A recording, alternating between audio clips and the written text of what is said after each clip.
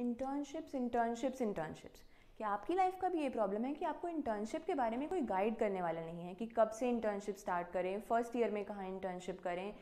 किसके अंडर में इंटर्नशिप करें और कब से इंटर्नशिप अप्लाई करना स्टार्ट करें. Then my dear you are at the right place अगर आप इस चैनल पर नए हैं तो चैनल को सब्सक्राइब करना और बेल आइकन दबाना बिल्कुल मत भूलेगा मैं हूँ हर्षप्रीत और आप देख रहे हैं लॉ एट रीच वीडियो को लाइक ज़रूर कर दीजिएगा। और वीडियो को स्टार्ट करने से पहले मैं आपसे डिस्कस कर लेना चाहती हूँ कि वाई इंटर्नशिप्स आर इंपॉर्टेंट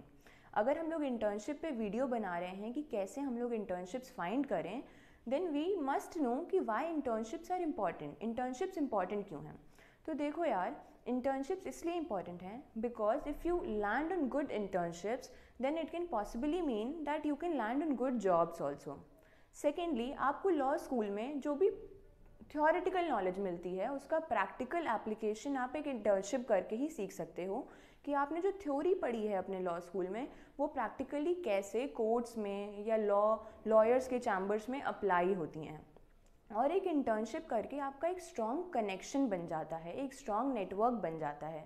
और अगर आप डिफरेंट डिफरेंट फील्ड्स में इंटर्नशिप्स करोगे तो आपको एक आइडिया हो जाएगा कि आपको अपना करियर कौन सा परस्यू करना है। और एक आइडिया आपके दिमाग में क्लियर हो जाएगा कि आपको क्या करियर परस्यू करना है then it can give you a mind map about where you should go after your graduation और what you should opt after your masters कि आपको एक करियर में अपने आप से चाहिए का क्या, आपको किस करियर में या किस लीगल फ़ील्ड में इंटरेस्ट आ रहा है। एंड लास्टली एक इंटर्नशिप से आपको अपने साथ के स्टूडेंट्स से एक अबव पोजिशन मिल जाता है। जो बाकी स्टूडेंट्स इंटर्नशिप नहीं कर रहे हैं they are on the same line but if you do good internships then आपकी सी वी भी इम्प्रूव होगी और आपको उन स्टूडेंट्स से कंपैरिजन किया जाए। अगर आप सब लोग एक जॉब इंटरव्यू में जाओगे then you will be preferred more than other students जिन्होंने इंटर्नशिप नहीं किया है। Right right? तो आई होप आपको क्लियर हो गया होगा कि इंटर्नशिप हमारी लाइफ में क्यों इंपॉर्टेंट है और हमको लॉ स्कूल के ड्यूरेशन में क्यों इंटर्नशिप्स के लिए अप्लाई करते रहना चाहिए और इंटर्नशिप से हमको क्या क्या फ़ायदे हो सकते हैं।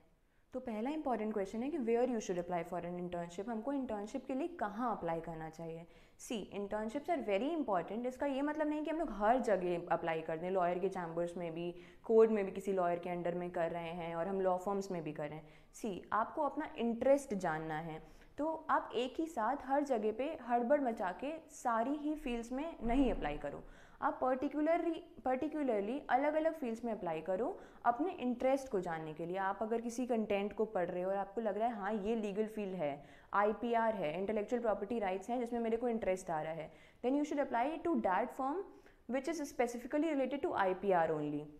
अगर आपको किसी और लीगल फ़ील्ड में इंटरेस्ट आ रहा है तो you should be specific about your interest while applying for internships right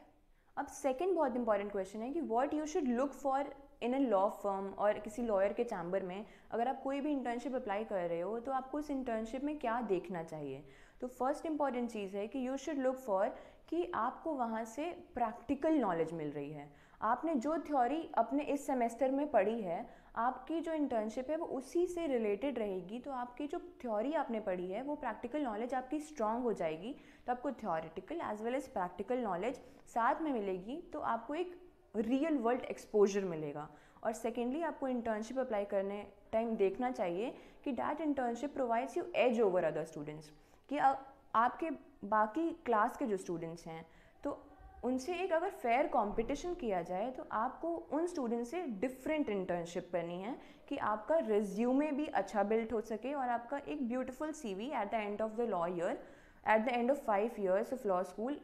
तैयार हो सके राइट right? और थर्ड बहुत इंपॉर्टेंट चीज़ है most important in fact which can get you a good internship कि आपका एक स्ट्रॉन्ग कवर लेटर होना चाहिए। कई बार होता है कि पर्सन जो होता है लॉ फर्म में, वो आपका पूरा रेज्यूमे नहीं देखता है, वो आपका कवर लेटर देख के ही आपको सिलेक्ट कर लेता है। तो थ्री मेन इंपॉर्टेंट पॉइंट्स है जो आपको अपने कवर लेटर में कवर करने चाहिए। फर्स्टली आपका full introduction in beautiful language grammatical mistakes ना हो, आप अपना इंट्रोडक्शन दो। और उस इंट्रोडक्शन से क्लियर हो कि why you are fit for that position जिस पोजिशन के लिए आप इंटर्नशिप अप्लाई कर रहे हो why you are fit for that position secondly आपका एंथुजियाज दिखना चाहिए कि why you are so enthusiastic about working in that law firm and thirdly आपका उस कवर लेटर से क्लियर होना चाहिए कि आपके पास क्या डिफरेंट स्किल सेट्स हैं कि आप उस पोजिशन पर जाके वर्क अच्छे से परफॉर्म कर पाओगे राइट एंड लास्ट और सबसे कॉमन चीज़ जो होती है जिसकी वजह से काफ़ी लॉ स्टूडेंट्स को अच्छी इंटर्नशिप्स मिल जाती है कि देयर कॉन्टैक्ट्स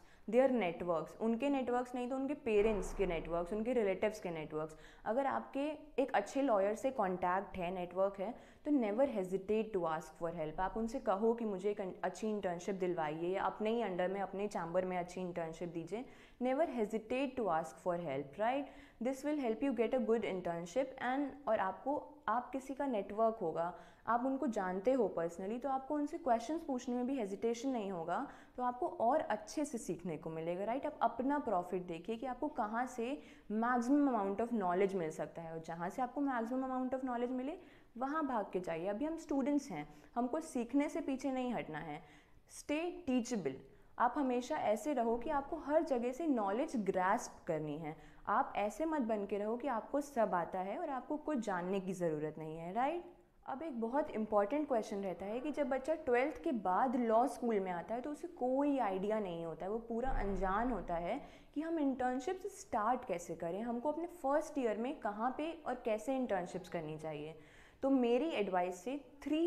ऐसी इंटर्नशिप्स रहेंगी जो बच्चों को फ़र्स्ट ईयर में करनी चाहिए और उनको वो उतने एक्सपीरियंस की ज़रूरत भी नहीं है उस इंटर्नशिप के लिए कि मतलब वो कम एक्सपीरियंस से ही उस इंटर्नशिप में अच्छा परफॉर्म कर सकते हैं और उनका एक्सपीरियंस बढ़ेगा उस चीज़ से, उनको नॉलेज मिलेगी ही उल्टा।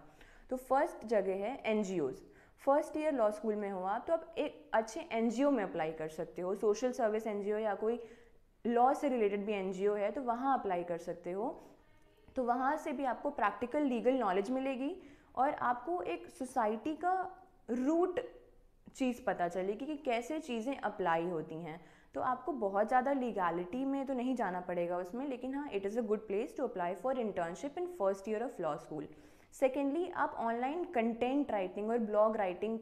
के किसी भी जो भी वेबसाइट्स हैं या कोई भी अच्छे फर्म्स हैं जो कंटेंट राइटिंग की इंटर्नशिप करवाते हैं you can apply for that इससे आपको जो कंटेम्प्रेरी लीगल इश्यूज़ हैं या जो करेंट अफेयर्स हैं, उनके बारे में आपको लिखने को मिलेगा तो आपको एक नॉलेज मिलेगी कि किस तरीके से आपको आंसर राइटिंग करनी है। बेसिकली आपको लॉ स्कूल में राइटिंग की बहुत प्रैक्टिस होनी चाहिए। तो content writing is also a good place good type of internship to apply for in first year of law school और थर्ड इंपॉर्टेंट इंटर्नशिप की प्लेस है कि वही जो आपके कनेक्शंस हैं, आपका कोई लॉयर के साथ कनेक्शन हो, जिनको आप पर्सनली जानते हो और जिनको पता है कि आप अभी बहुत एक्सपीरियंसड नहीं हो।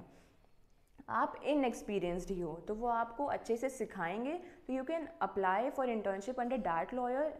जिनको आप पहले से जानते हो और जिनको आपके पेरेंट्स पहले से जानते हैं। तो these three are good options for first year law students कि वो कहाँ इंटर्नशिप कर सकते हैं। तो आई होप आपको इस वीडियो से नॉलेज मिली हो। और नॉलेज मिली हो तो अपने फ्रेंड्स के साथ ज़रूर शेयर करिएगा ताकि उनको भी नॉलेज मिल सके। Thank you and have a nice day